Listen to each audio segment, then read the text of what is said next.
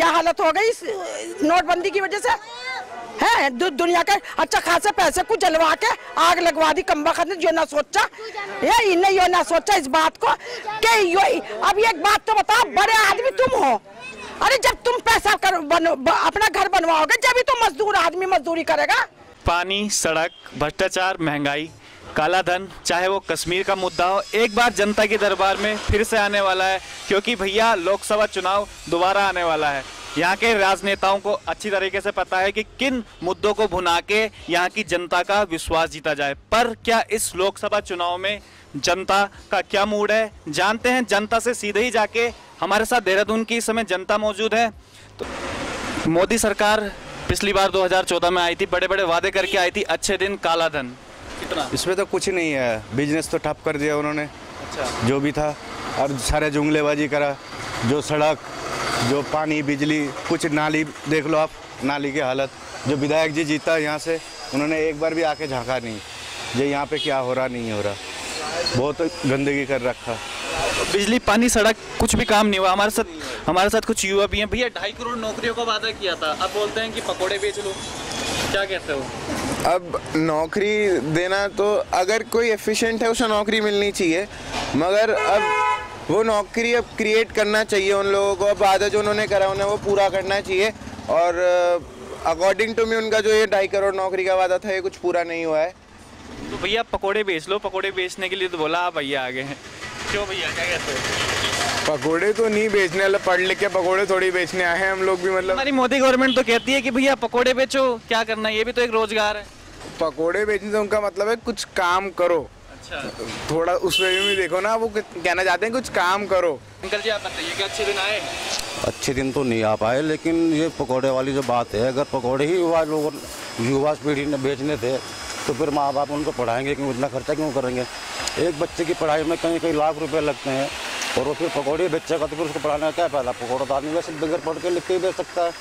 लेकिन इनके वादे और भाषण बहुत अच्छे लगते हैं सुनने में जो कि धरातल पे कुछ नहीं है। आपको पता है कि 2014 में जब मोदी गवर्नमेंट आई थी क्या क्या बड़े वादे करके आई थी?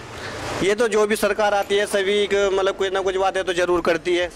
लेकिन कुछ ऐसे वादे होते हैं जो पूरे होते हैं कुछ वादे ऐसे होते हैं जो नहीं होते पूरे। अच्छा अच्छे दिनों के वादे किए थे नोटबंद नोटबंदी लिया है जीएसटी लिया है अच्छे दिन आए हैं। अच्छे दिन तो आए नहीं लेकिन ये है बस लोग अपना जी जी रहे हैं खुशी से बस अच्छे दिन तो आए नहीं देखो। अच्छा। अच्छे दिन नहीं आए। तो जी तो पहले से ही रहे हैं बहुत पहले से। हाँ बस ये दुनिया जी रही है पहले दो दो रोटी खाई थी अब सिंगल रोटी खाने लगी। बस ये है चल रही है सर सरकार। दिन की तलाश में हम आए हैं कितने अच्छे दिन आए हैं कितने घोषणाएँ पूरी हुई है मोदी सरकार की क्या काला धन आया है राम मंदिर का मुद्दा पूरा हुआ है कश्मीर का मुद्दा पूरा हुआ है लोकसभा चुनाव आने वाले हैं आपको पता है दोबारा? जी 2019 में लोकसभा चुनाव आने वाले हैं। पाँच साल पहले मोदी सरकार अच्छे दिन का वादा करके आई थी। कितने अभी तक अच्छे दिन आए हैं? केवल वादे करे थे वादे निभाए नहीं है। अच्छा। जी। वो तो कहती है हमारी जनता बड़ी खुश है अच्छे दिन आ गए हैं आज ये तो 2019 बताएगा जनता खुश है कि नहीं खुश है। अच्छा। जी।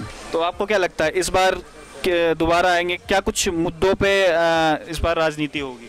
पिछली बार तो अच्छे दिन के काला धन के मुद्दे थे। वादे किया राम मंदिर का मुद्दा था। जी वो तो सब मुद्दे थे मुद्दों पे वोट लेना था लेकिन अब की बार जनता बेवकूफ़ बनने वाली नहीं है भाजपा से। राम मंदिर के मुद्दे को लेके बीजेपी गवर्नमेंट में आई थी। ठीक है? तो राम मंदिर के मुद्दे पे आम लोगों का आपका क्या कहना है? कि क्या राम मंदिर बनना चाहिए कि नहीं बनना चाहिए? वो तो राम मंदिर का सिलसिला था ये एक तो ये मुद्दा हो गया बहुत तकड़ा वाला। ये राजनीति जो होती है मुद्दे के ऊपर होती है। ये बस लोगों को पब्लिक को राम मंदिर बनना चाहिए नहीं बनना चाहिए? मेरा सवाल ये है। राम मंदिर बन, बनना चाहिए ऐसा सारा कुछ नहीं है मगर यह है ना संविधान के अनुसार जो संविधान जो कहता है उसके अनुसार मतलब ये नहीं अपनी मनमर्जी होगी। आपका कहने का मतलब है राम मंदिर बनना चाहिए हमें किसी प्रकार की विवादों में नहीं पड़ना है। हिंदू मुस्लिम विवाद में ना पड़ा है जो एक्चुअल में जो काम है वो जनता करे। जनता को एक प्रकार से राम मंदिर के मुद्दे पे भ्रमित किया जा रहा है। आपका क्या कहना है अंकल जी? बनना चाहिए राम मंदिर। राम मंदिर बनना चाहिए लेकिन पान पिछले 2014 में मैनिफेस्टो में लेके आई थी कि राम मंदिर बनाएँगे। लेकिन राम मंदिर तो अभी तक बना नहीं है लोकसभा चुनाव आ गए हैं दोबारा तो अब इन पे दबाव तो डाला जा रहा है कि मान ली या मान ली कोर्ट से करो नहीं तो मान ली ना उसे संविधान में ला के करो। लेकिन जो गवर्नमेंट आई थी अपनी घोषणा पत्र आप जानते हो जब लोकसभा में आती है तो घोषणा पत्र में वादे करके आती है। बयालीस वादे बीजेपी सरकार ने किए थे उनमें से एक वादा राम मंदिर का भी था। वो अभी पूरा नहीं कर पाया उन्होंने।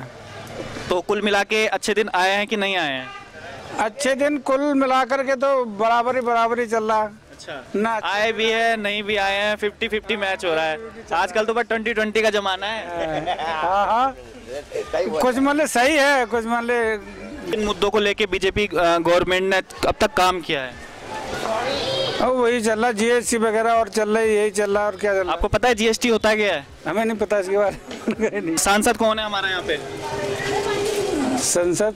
सांसद सांसद। लोकसभा चुनाव जो प्रधानमंत्री जो बनता है वो सांसद के द्वारा ही बनता है। आपको पता है हमारा सांसद कौन है यहाँ का?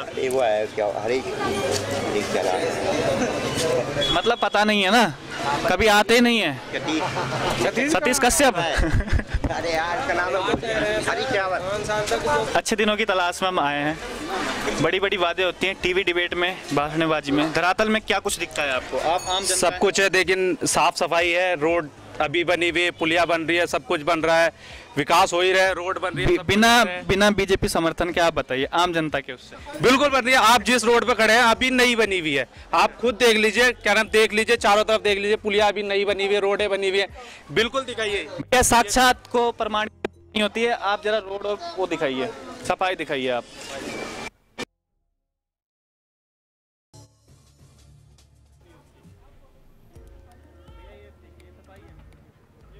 सफ़ाई है। ये रोड अभी नई मलबा है कुछ दिनों में हट जाएगा इलेक्शन की वजह से ये रुका। चलिए जब हट जाएगा।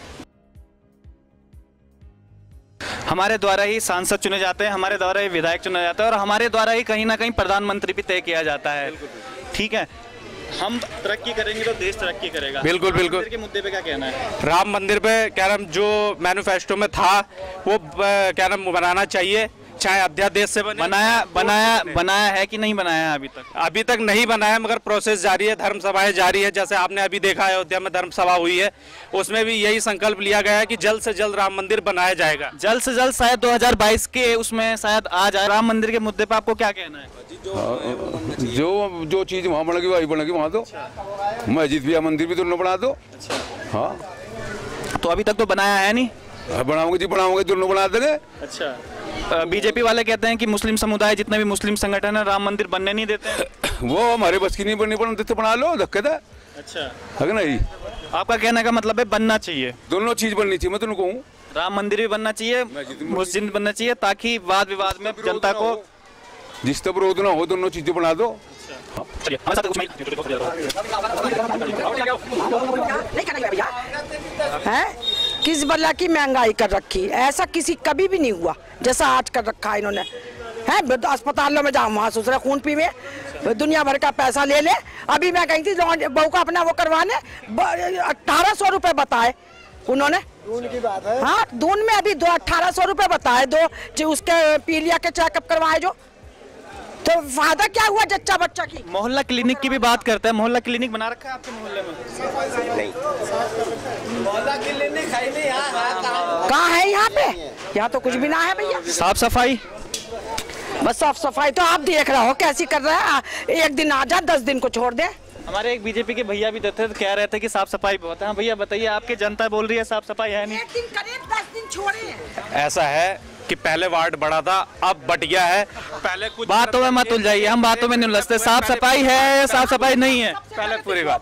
ऐसा है पहले पहले वार्ड बड़ा था कर्मचारी कम थे। भैया साफ़ सफ़ाई है नहीं है। क्षेत्र क्षेत्र फ़िलहाल थी है जैसे हफ़्ते में वीकली जैसे नहीं है नहीं है नहीं है। नहीं है। सबसे ज़्यादा नशा बंद करवाओ सबसे पहले। जवान जवान लड़के सारे बर्बाद हो रहे हैं। इन चीज़ों को बंद बंद करवाओ। ये चीज़ें ये चीज़ें क्यों नहीं बंद करवा रहा? है? हैं? सारे बच्चा बच्चा बिगड़ा पड़ा विधायक विधायक विधायक और विधायक को बोलते नहीं आप जाके कि भैया ये परेशानियाँ तो विधायक को देखना चाहिए आके। जवान जवान बच्चे सारे बर्बाद हो गए। कोई शराब पी रहा है कोई सुल्फा पी रहा है। यहाँ पे इन कामों को बंद करवाओ। ये ये कोई तरीके होंगे कि यहाँ पे जहाँ तक देख के महँगाई ने वो हद कर रखी है कि जहाँ तक देख के जवान जवान लड़कों का सत्यानाश हो रहा है अरे शराब थामे शराब पी पी के झूमते जानते रहे लड़ते मरते रहे। अच्छा इन पाँच सालों में क्या कुछ आप पाँच सालों में आपने देखा होगा? पाँच साल में तो सारी बर्बादी हो गई। हाँ सारी बर्बादी तो इस पाँच साल में ही हुई। पहले कभी ऐसा ना हुआ। हो रही मोदी के जमाने से। बस। और रहा मोदी के ही वक्तों से अरे पहले तो कभी भी ना ऐसा हुआ। कांग्रेस थी जब तो ये बातें ना हुई। मगर जब से ये वो हुआ जब से महँगाई महँगाई वो कर रखी। अच्छा एक सबसे बड़ा जो फैसला लिया था मोदी सरकार कहती है कि हमारा सबसे बड़ा फैसला सबसे अच्छा फैसला था नोटबंदी का। आम जनता पे क्या देख लो कितना सत्यानाश हुआ। अपने शहर का नाश मार रहा है अपने देश का नाश मार रहा है। नोटबंदी करके क्या करा? इन्होंने। यही करा देख लो आज क्या साल भर में कितना फ़र्क पड़ा। क्या हालत हो गई नोटबंदी की वजह से? है? दु, दुनिया के अच्छा खासे पैसे को जलवा के आग लगवा दी कम वक्त जो ना सोचा। ये इन्हें यो ना सोचा इस बात को कि यो अब एक बात तो बताओ बड़े आदमी तुम हो। अरे जब तुम पैसा कर बन, ब, अपना घर बनवाओगे जब ही तो मजदूर आदमी मजदूरी करेगा। जब बड़ा आदमी अपना घ- घर ना बनवाने का तो मजदूर कहाँ से कमा लेगा? तो ये फ़र्क पड़ा है नोटबंदी से जीएसटी से। बड़ा आदमी जब अपना घर ही नहीं बनाएगा तो भैया छोटे आदमियों को मजदूरी कहाँ से मिलेगी? ये एक इकोनॉमिक्स का सीधा साधा नियम है जो हमारी आंटी जी ने हमें बखूबी बताया है। तो बड़े आदमी से छोटा आदमी भी चले। जब बड़े आदमी ना करने का तो छोटा आदमी कहाँ हो जाएगा?